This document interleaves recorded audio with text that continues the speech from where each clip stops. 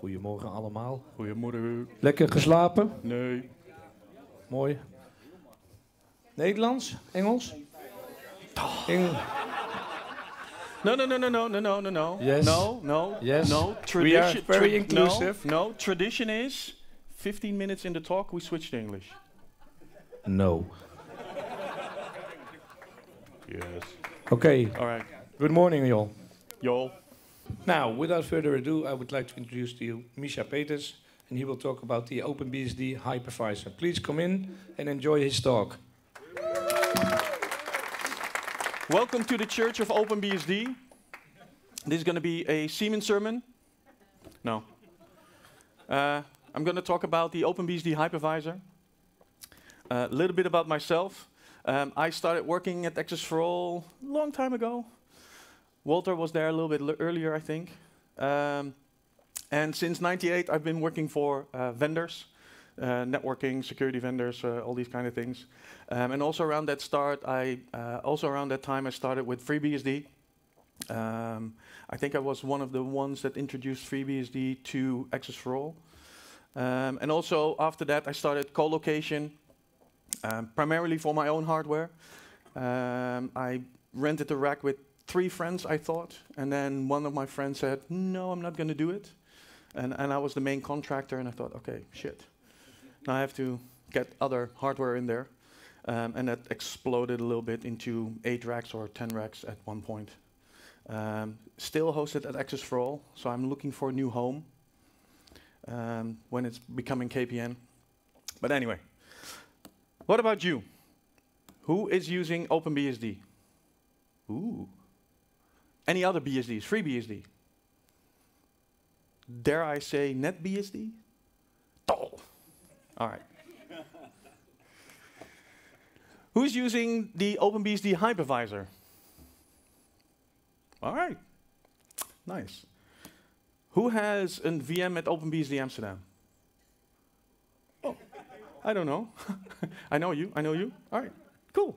So it is like a, a, a team customer meeting. All right. So um, I'm going to talk to you about how it all began, um, and I'm going through the, the setup. You can also uh, read about the setup on my website. I've got everything documented. Uh, uh, some things that other people have already started using, so that's quite cool. Um, but how it all began was I started using jails on FreeBSD, Kubernetes, and Docker. That's now um, to, to segment things out. And I've always been looking for virtualization um, or easy virtualization. Um, then came along bhyve on FreeBSD, which is not simple. It works. Um, but then some guys on the OpenBSD community uh, uh, thought, okay, uh, we're not going to import bhyve. We're going to build our own from scratch. Um, and that became v VMM VMD. Um, and as a uh, uh, start, um, I looked at that and it was getting there. I think after two years, it became a little bit stable. So I thought, okay, let's uh, let's do this because I have some spare rack space, uh, some hardware, more importantly, some spare IP space, IPv4, um, and I always wanted to have like a domain with something BSD in there. Um, so I, I I saw that OpenBSD.amsterdam was free. Um, I registered, no idea what to do with it, um, but I also wanted to have a way to give back to the community and to actually take this hypervisor and see how how far we we could take this. Um, so that was pretty much the, the, the start of it. So where is it? As you might assume, it's in Amsterdam. Um, it's in a uh, KPN data center, uh, DC2, at the Barbara Strozzilaan, if people know it. Um, it was called something different, which I forgot now. Um, and primarily the hardware that I'm using is uh, Dell R610s, um, Foundry switches, if people still know Foundry. Cool. Um, and also, um, and that's connected to a Foundry MLX, and I'm doing BGP to uh, to XS4ALL, so I can decide where the traffic goes, and if part of XS4ALL collapses, then I'll go through uh, through the other gateway. Um, so the whole thing actually started on Twitter, um, where I just started playing around. Um, um, I said to some people, "Hey, I have a machine that I'm playing with. Who wants a, a VM?" So I'm one of the, the first dare I say, victims, I guess? Happy customer. Okay, cool. Uh, um, on, on server one, so uh, uh, VM number six was there, and I thought, oh, this is pretty cool. Um, so I, I, did a little poll on Twitter what people were willing to pay for, for a VM um, with, with these specs. So uh, 512 of meg, 50 gig of RAM, V4 and V6. Um, because there's a lot of companies out there that do this en masse, and they charge like 2 euros or 6 euros or 10 euros or whatever. Um, so I thought the sweet spot was around 5 euros, uh, 5 euros a month. So I thought, okay, I have some other spare hardware. Let's, uh, let's get going. So this was the first proper machine online, and the reason why I say proper, the first machine was like 8 gig, CPU, a lot. So as soon as I started adding more VMs, it would reboot because it couldn't really deal with the memory. Um, so this machine had a little bit more memory, uh, more disk space, um, and this is still running 45 VMs, if I'm correct. Um, and of course, the whole idea was that as soon as you have a VM, part of, of um, um, the money that I charge, I donate to the OpenBSD community. So the first donation that I've done was in, I can't read it, in July, I think, yeah, end of July, um, to the OpenBSD Foundation. Um, this was for 400 euros, and so that pretty much means 40 VMs. So I donate 10 euros for every VM um, and 15 euros for every renewal.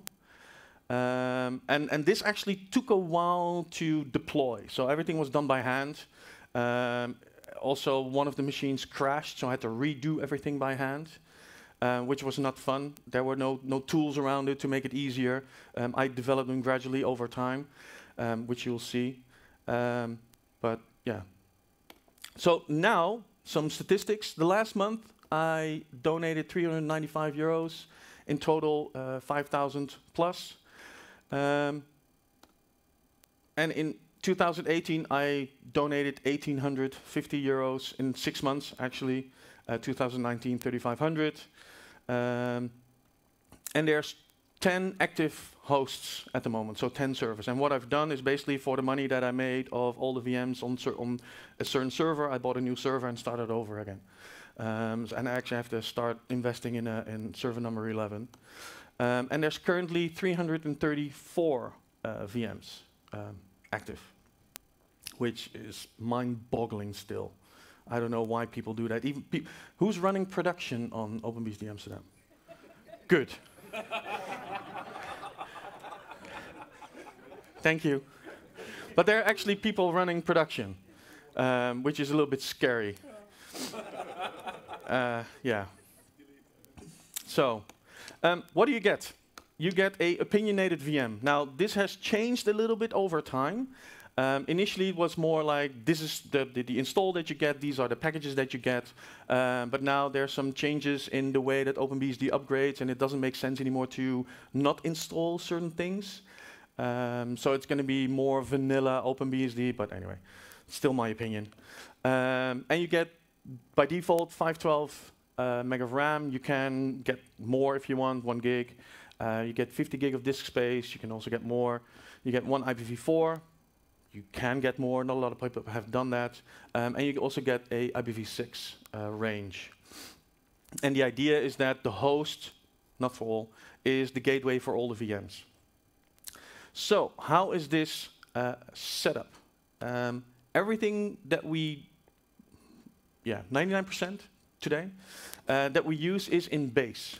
Um, so OpenBSD has a very complete base operating system. You can run a router, you can do BGP, uh, uh, web servers, load balancers without installing anything. So it's, it's quite cool actually that most of the things that we can uh, do and use to deploy is, uh, is within base. Um, Perl is in base. Uh, some of the, the tooling that the OpenBSD guys wrote um, are actually done in Perl. So I thought, eh, I know Perl. Um, so I started actually doing some deploy scripts in Perl. Um, and of course, uh, the VM, uh, VMD daemon, DHCP, um, auto install, if for people that know it, it's a way to actually automatically go through the installation process. Um, there's a uh, package called site.tgz um, which you can um, have your own packages or, or, configuration that you can automatically take. Um, I'm using the HTTPD from, uh, from OpenBSD, and then of course VI, everything's done in VI. Um, so what the Perl script does is it will create all the configuration files that are needed. It will create a user. It will put the user in the doas uh, config. So for people that don't know OpenBSD, uh, doas is the version of sudo on OpenBSD. Um, because like everything else, the guys from OpenBSD go, okay, this sucks. It's way too complicated, uh, way too many attack services. We will write our own, um, which is also what, what doas is. Um, and it also creates uh, the image. Um, then, so the, the, the vm.conf uh, looks a little bit like this. So I have a, a block of, of, uh, um, of configuration. No, mine doesn't show up.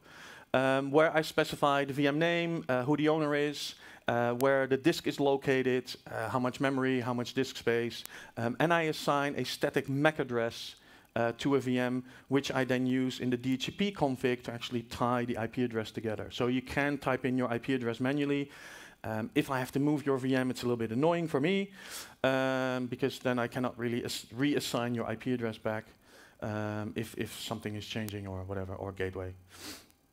Um, and also the uh, file name auto install basically tells OpenBSD to look for PXE boot and then uh, an installer file to kick in the automatic uh, process. Um, one thing you can also do is say auto upgrade. So if you want to upgrade from there on to uh, uh, to to other uh, releases, you can do you can also do that in automatic fashion.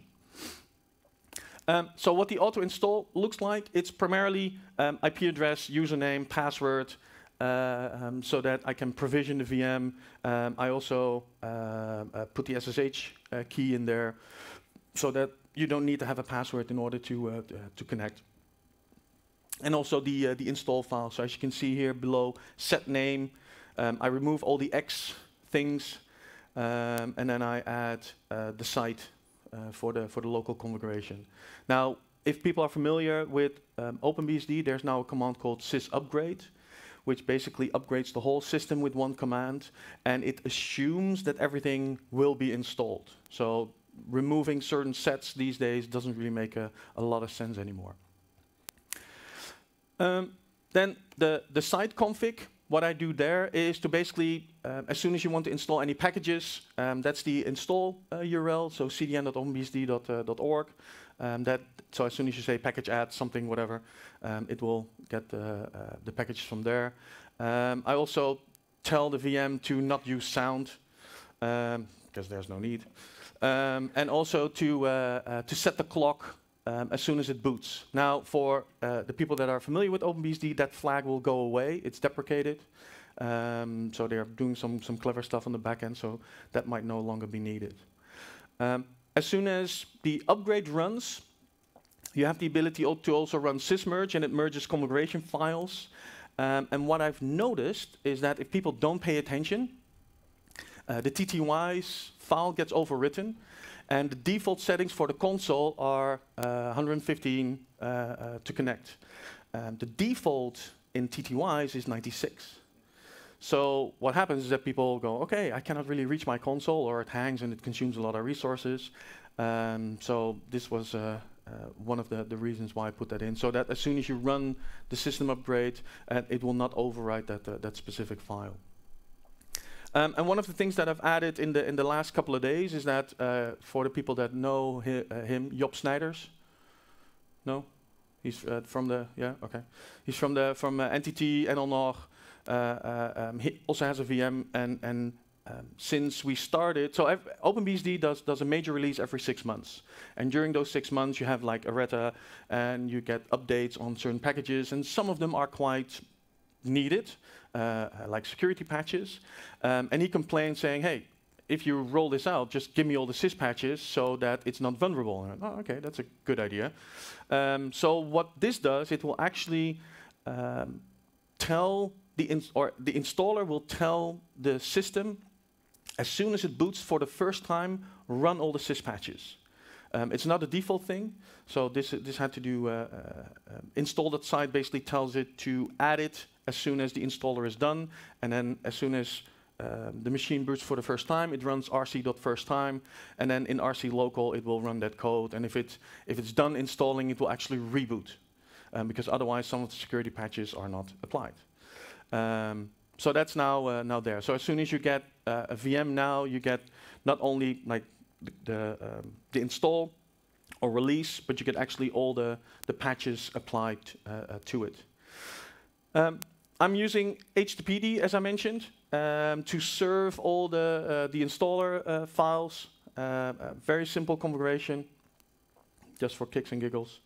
Um, I'm using sensors D to basically tell me when a disk is broken, um, which is quite useful. It doesn't do that by default. Um, so this basically checks if the, the RAID is still intact. If it's not, it will send me an email. Quite useful. Um, also, when a machine reboots, it tells me, hey, disks are okay. Um, so how does it actually then work to deploy a VM? What I've done is every single machine has a block of configuration that tells it what the IP space is, uh, what the IPv6 is, the start IP address, um, the VM config, what the default VM config is. So if I need to change it at a later stage and say, okay, everybody gets one gig, for example, I can very easily do that. Um, so this is a file that I have per, uh, per host. And what then actually the flow is, you can register for a VM on the website, you can put in all your details, I'll show the form. Um, I run the Perl script that does everything, then I restart DHCPD, I reload the VM config, and I start the VM. Um, and since two months, I still had to hit A to do to start the auto installer. Um, that got a little bit old, so I, I, I fixed that. Um, so the form looks a little bit like this. You can put your, your details in. Um, I get like a nice text file that I put in a text file on the, on the host. Uh, the deploy script is run. Um, it will create the auto install, it will create the user, and it will create the actual image that is being used to, uh, to install.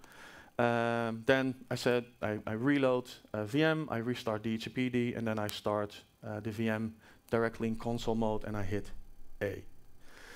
Um, as I said, that got a little bit annoying um, because then you also have to wait until it's done, shut it down. Um, so I thought, okay, this can be done better. How can I do this? TCL. So I have a, a, a wrapper script that actually does all these steps and it kicks in two TCL scripts that look a little bit like this. If people uh, are not familiar with TCL, it's a great language. Um, so it actually connects to the console, it will wait for a certain prompt, and it will hit A for me. Win. Um, once that is done, it will actually um, exit the, um, uh, the script. And then since this is run in the, in the shell script, it will kick in the next expect script. Um, and that will actually wait for the, the, the, fresh reboot of the VM and it prompts a login prompt and then it will say success. So I get a nice beep in Tmux as well.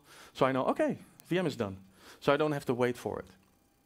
So one of the things that I still have in mind is that the VM will actually send you an email when it's done. So that's that's the goal. So the VM will actually tell you, hey, I'm done. You can now log in. But I've the, yeah, it's a little bit trickier. Anyway, um, so during this whole process, of course, we found a couple of things that were quirky, or uh, uh, as I also put on the website, it's in active development. Things break, and things do break. Um, but other things were also, when I started, one of the things was, uh, I asked on Twitter as well, so what do you need if you have a VM somewhere? Um, and someone said, console access. And I went, okay, yeah, that doesn't really work at the moment because the person that can actually connect to console is root. Or you have to be in the wheel group, which with a, with a bunch of people that I don't know on a host, adding them to the wheel group, mm, that's probably not a good idea. Um, so one of the first things that I, that I did was talk to uh, Reyk. Uh, uh, he's one of the, the OpenBSD developers, did HTTPD, RelayD, uh, um, crazy German. Um, so I said, hey, how can we do this? Uh, people need to connect to the console. So okay, yeah, that's uh, actually interesting. So now you can set the, the, the, the, socket owner. So you can say, okay, who owns the socket of VMM or VMD? Um, you can specify that to be a group, so whoever is in that group can actually connect to that socket. Um, and then in the VM config, you then specify the actual user that can connect to that VM. So not everybody can connect to everybody's VM. You can only connect to your own VM, but you have to be in a specific group. So that was quite cool. Um, one of the other things was, is for a VM to boot, it needs to have a tap interface into uh, the bridge. By default, there's only four tap interfaces on OpenBSD. Um, and it gives you a very peculiar error message when there's not enough tap interface. Just says, well, I cannot start. Oh, okay, why?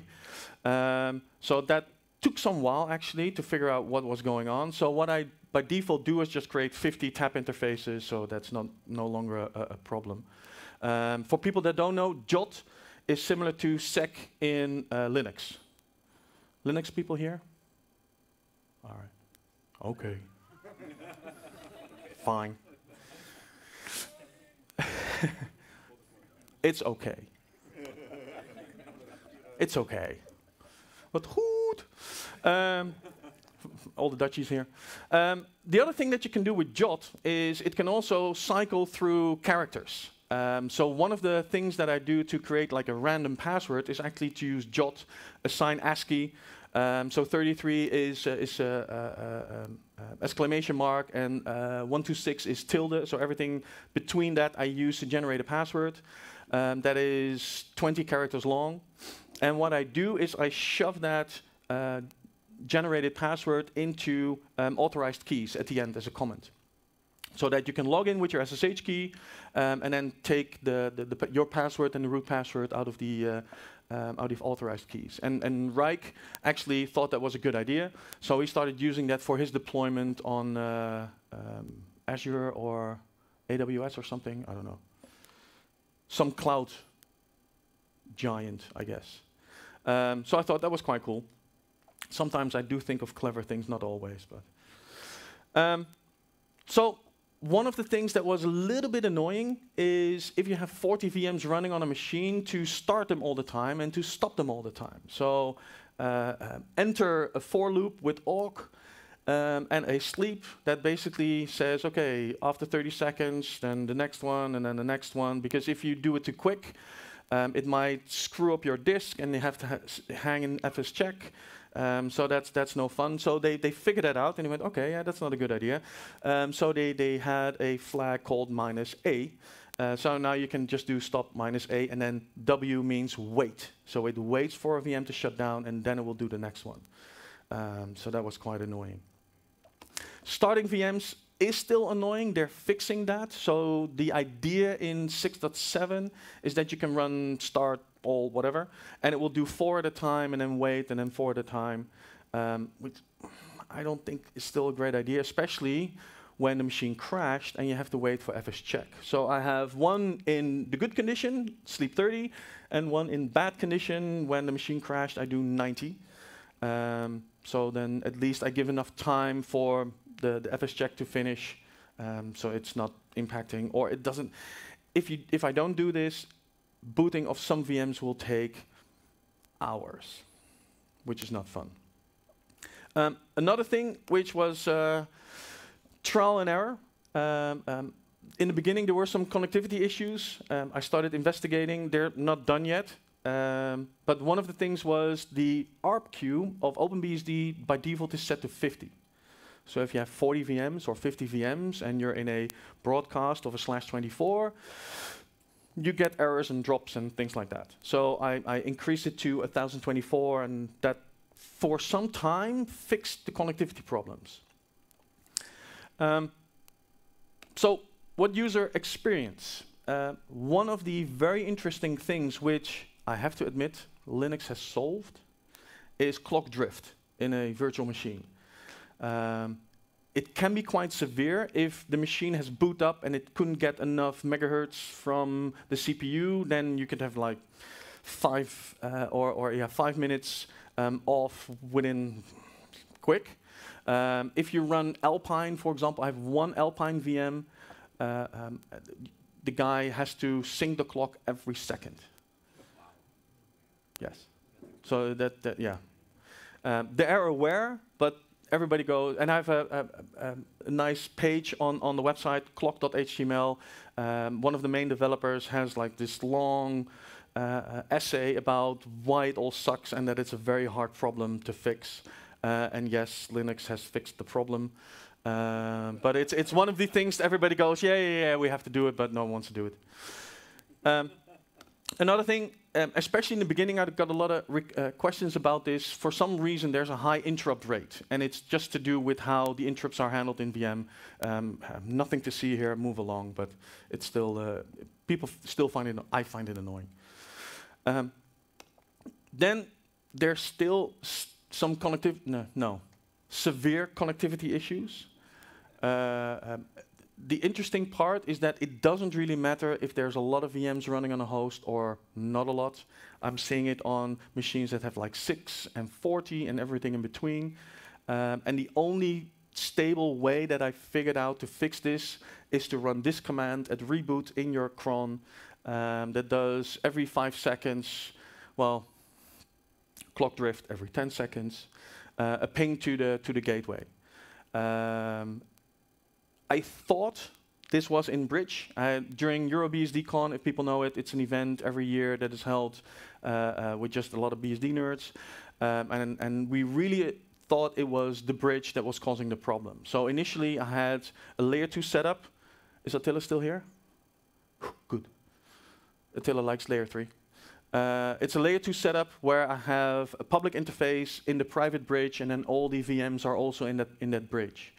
Um, so someone said, okay, let's do a routed setup. So I have a private bridge and I route all the traffic out uh, through uh, the public interface.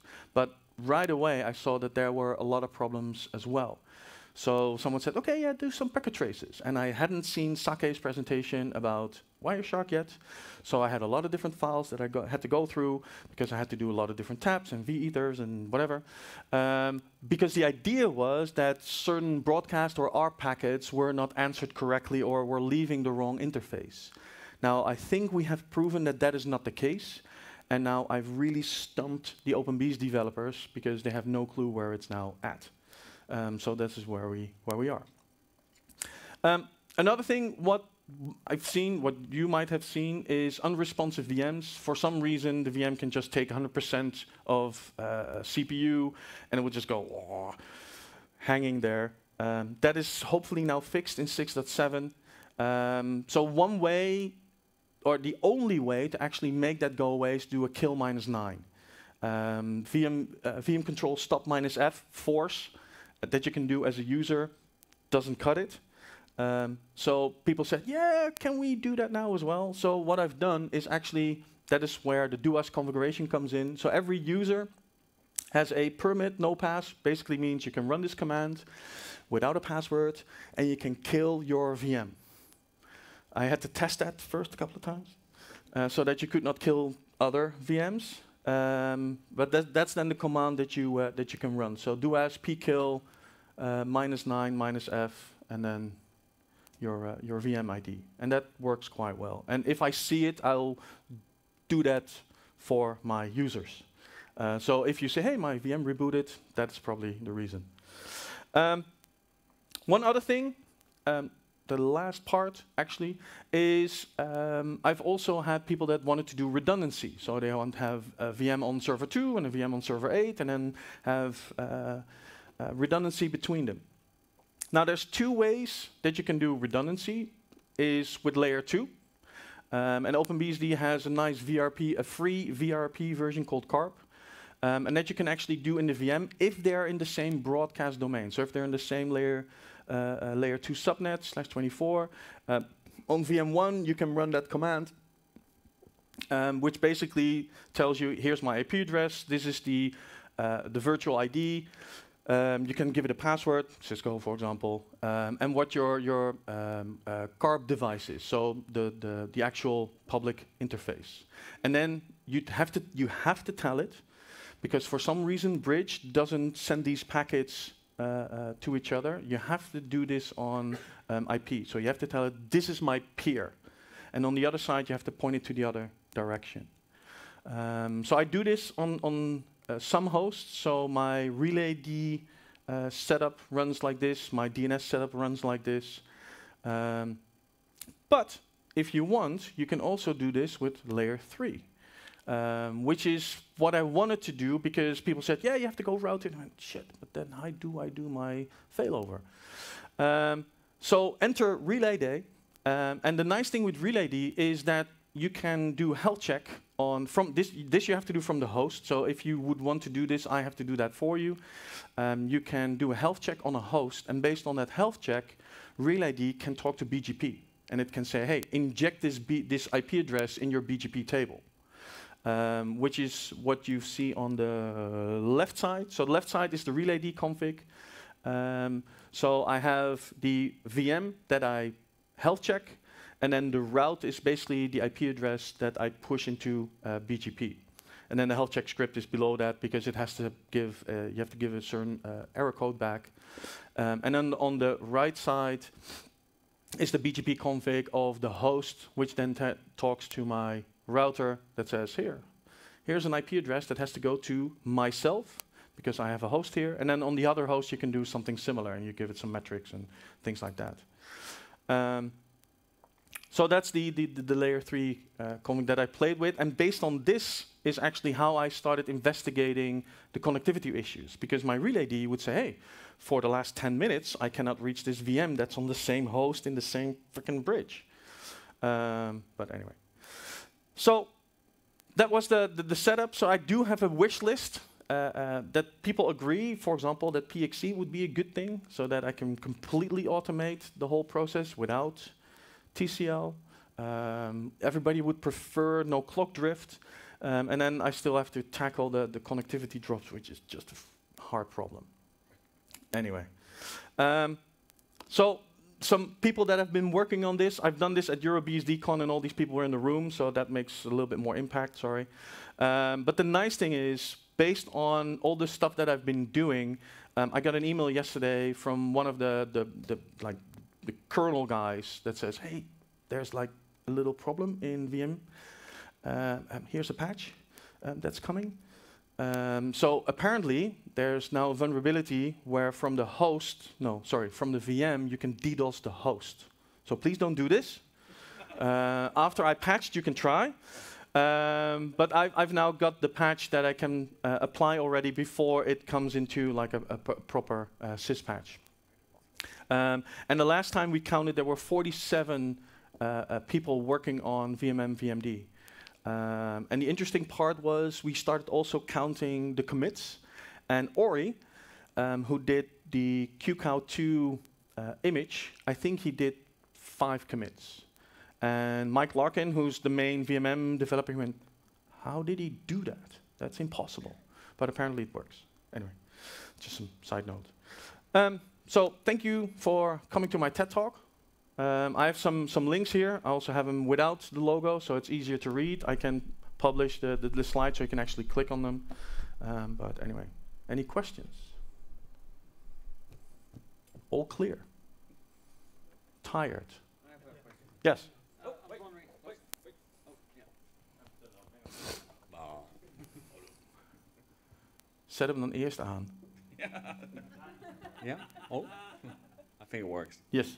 No, uh, my question was, uh, um, well, for me, the news for OpenBSD Amsterdam was that there was actual hypervisor for OpenBSD. That was the reason why I got my VM. Perfect. Uh, uh, uh, do you know of other people doing projects similar to this one, or are, are you or are you are you the only testing ground for this?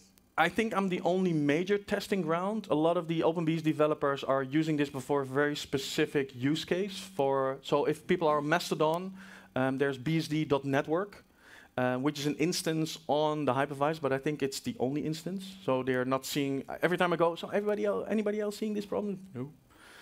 Um, people have approached me to do this, but where, it get, where they go wrong is either IP space or traffic or power or combination thereof. The nice thing is I, I have a, a colocation company uh, for a long time. I have rack space, I've got power, uh, traffic at XS4ALL currently is not a problem. Um, so for me, it was very easy to, to do this. If you do this in like a standard co-location facility, it's a little bit trickier because the, the cost, also the amount of money that I ask for for a VM is, is quite low. And the reason why I do this is not to make money. Um, I just want this the thing to run on its own and, and that I can donate. Um, so it's, I think it, to do this at a, at a, at a scale, it, it's quite tricky to do. Um, but during uh, the EuroBSDCon, uh, uh, Reyk, oops, uh, Reyk Floeter, um, he actually uh, uh, grabbed the mic and said, this is great, please start doing this, because that's the only way that this thing becomes better. Um, so if you have some spare hardware, uh, uh, start deploying and, and playing with it. Was it all clear, or no one cares, or just... yeah? All right. That's fair. Were people expecting the other Misha? Could also be the case. Okay, thank you.